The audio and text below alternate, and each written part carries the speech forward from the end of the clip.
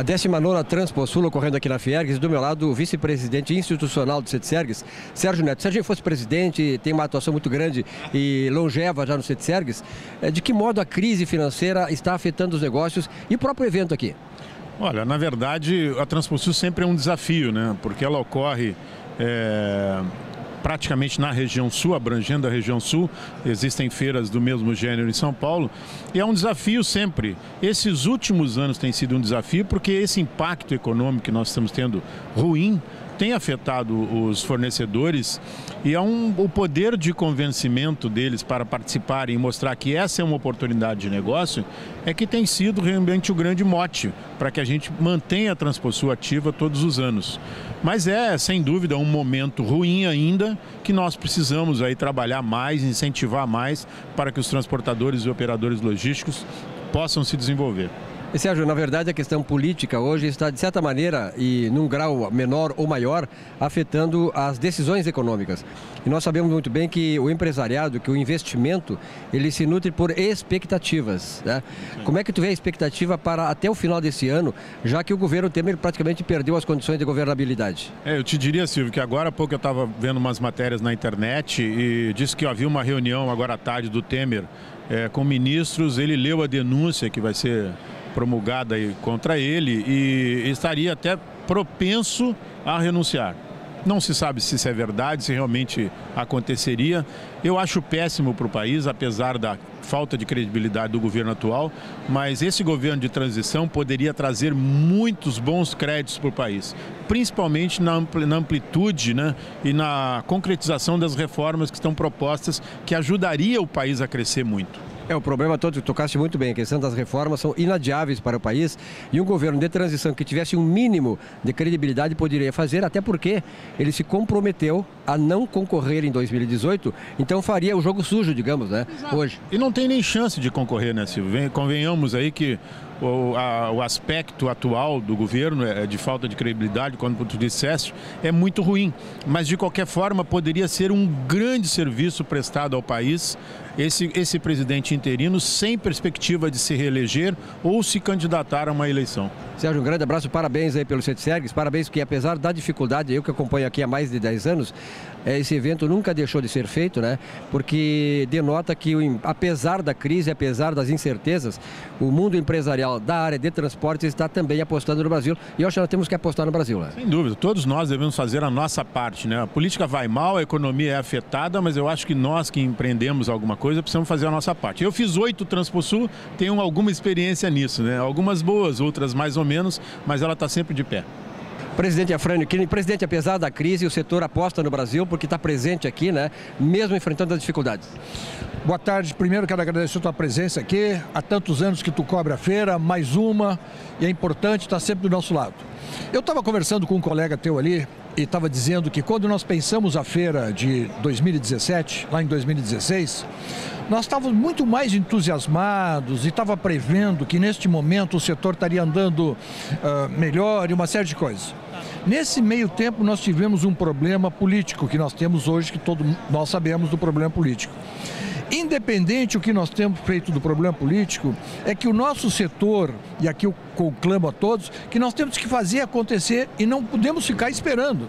Tu imagina se nós vamos esperar agora até 2018 as coisas se resolver para investir, para comprar, para negociar, o país vai parar.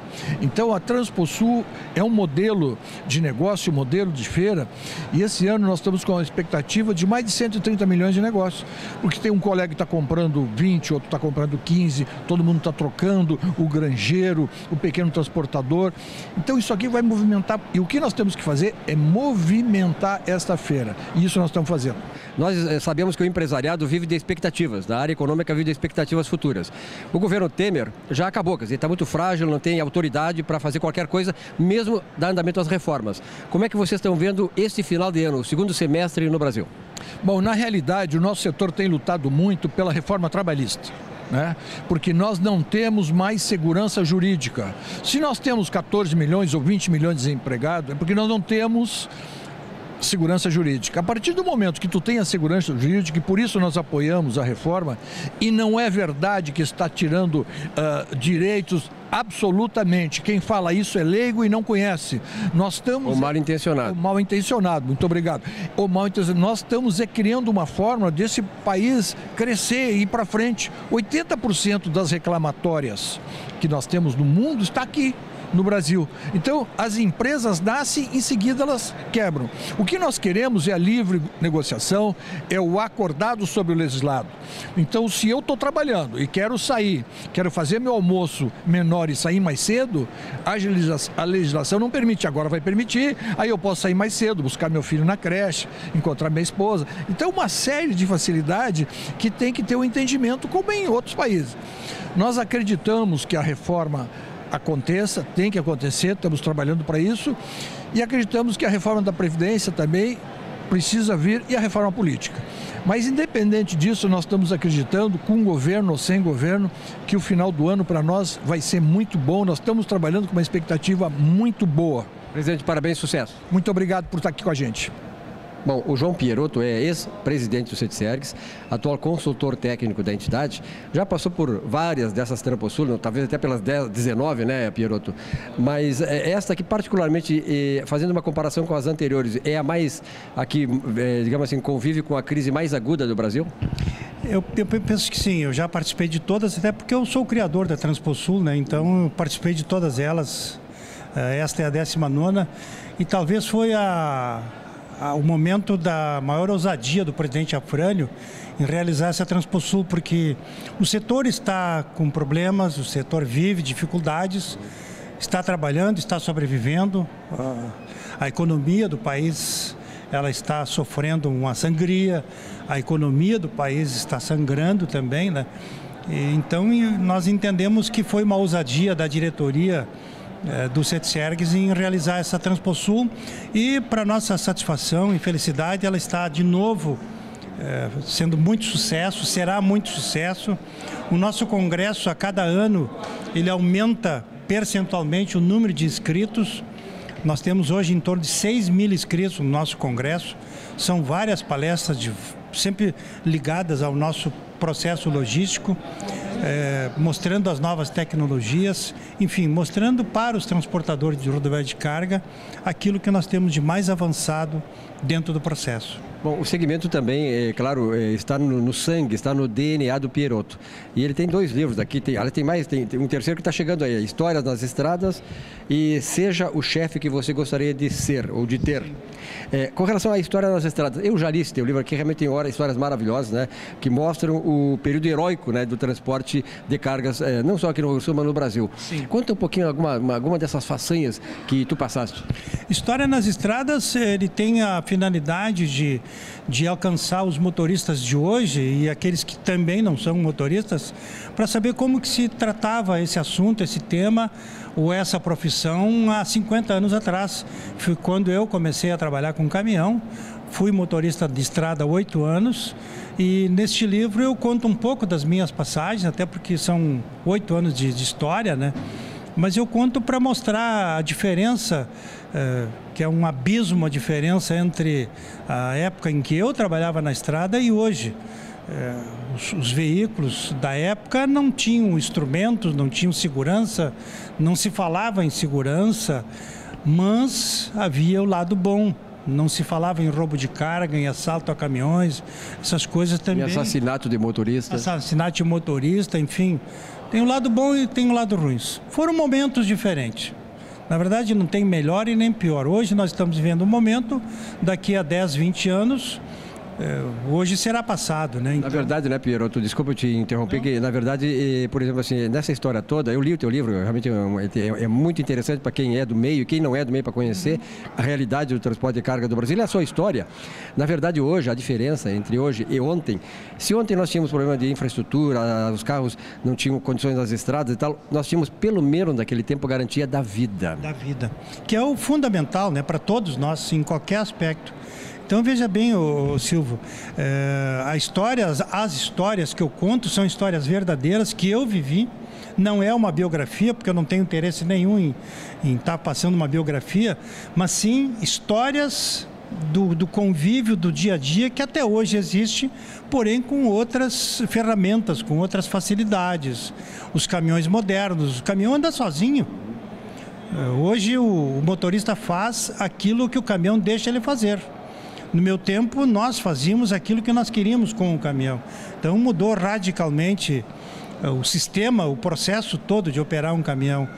E importante que esse meu livro conta algumas das minhas histórias que são vividas por milhares, são idênticas. É, a minha história é apenas uma referência daquilo que era naquele tempo. Me diz uma coisa, o, Claro, o outro, outro livro fala sobre o chefe que você gostaria de ter. Quer dizer, também aí é uma questão das relações humanas. Eu vejo que a, o, o, centro, digamos, das tuas preocupações no livro é o ser humano, né? Sim. E nessa questão, assim, o chefe que você gostaria de ter também é uma questão de relações humanas e de relações profissionais. É uma relação humana e, na verdade, Silvio, eh, hoje, há muitos anos, a gente nota o seguinte: a rotatividade dentro das empresas, não só de transporte, como qualquer empresa que tem funcionários, a, a, rotatividade ela acontece não por deficiência técnica, 50% é de relacionamento. Então a deficiência técnica fica em segundo plano. O que, que eu quis retratar nesse, nesse meu livro, Seja o Chefe Como Você Gostaria de Ter? É uma forma de administrar pessoas, para que a gente tenha a, a, a valorização das pessoas que nos colaboram com a gente. Esse é o processo uh, que passa pelo livro. Então, de uma forma administrativa, nós queremos sempre administrar pessoas para que cada dia estas pessoas se tornem melhores. E isso não vai parar nunca, porque a cada dia que passa, a cada momento que passa, a cada troca de atividade eh, nas empresas, o material humano sempre será necessário, apesar de toda a tecnologia existente. Vai já da automação toda. A automação toda, os veículos andam sozinhos, os caminhões andam sozinhos, a tecnologia embarcada, a tecnologia dentro dos, do, dos escritórios, tudo é muito moderno, tudo é muito prático, tudo é muito estatístico. Pieroto, para quem, tem, quem tem interesse, por exemplo, em ler teus livros, eu recomendo realmente um livro, pra, sobretudo para quem trabalha no setor, quem quer trabalhar no setor, quem já trabalhou, tem a história toda, né? Onde é que ele pode adquirir esses teus livros? O livro ele está naquela na livraria do Bourbon uh, Zafari, em Canoas. Tá? Eu não tenho...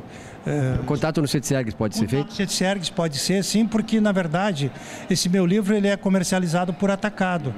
Por incrível que pareça, Uh, os meus livros eles são comprados em grandes volumes. E é um belo presente, digamos empresas. assim, é um belo presente de Natal, é um belo presente de aniversário, né? Eu acho que o livro ainda resiste, né? O livro impresso ainda resiste e vai resistir por muito tempo. O que, que tem acontecido? As empresas compram é, uma quantidade. Para presentear para os clientes. Presentear para os seus funcionários clientes, e clientes. Funcionários, seus clientes. Enfim, esse é o processo de comercialização do meu livro. Não sou vendedor de livro, não ganho nada. Mas o importante é tu é vendedor de ideias e disseminador de ideias importantes, tá? Sem dúvida. Sem Esperoto, parabéns para ti. É papel. Parabéns e sucesso. Obrigado, obrigado, Silvio, pela oportunidade.